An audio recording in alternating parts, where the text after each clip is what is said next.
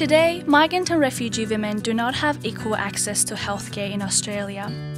We represent one in three women in this country, but when it comes to our health, we still face barriers that are unfair and place us at greater risk. Women on temporary visas do not have access to Medicare even when they live in Australia for many years. Private health insurance doesn't cover all women's healthcare, so out of pocket costs can be high. Our specific settlement and migration experiences are not always understood and respected by health professionals.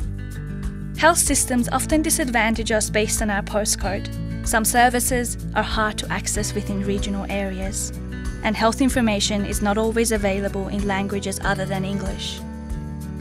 These challenges can lead to misdiagnosis, delayed and inadequate care, and financial burden for the health system. If we want equitable healthcare, we need a system that makes us feel safe, respected, and included. Governments need to invest in intersectional approaches to health. This means addressing the multiple forms of inequality that affect the way in which we access healthcare. Visa discrimination needs to end health and support services should be available to all people despite their residency status. We need more investment in multilingual women's health information, and more importantly, we need a culturally and linguistically responsive health workforce. When we access accurate and culturally sensitive health education, we gain knowledge, confidence, and control over our own health.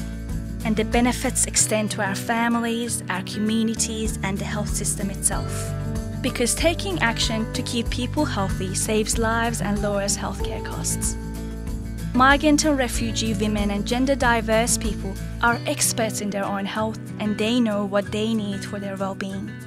If we want to achieve health, gender and social equity, it is time to listen to migrant and refugee women and gender diverse people.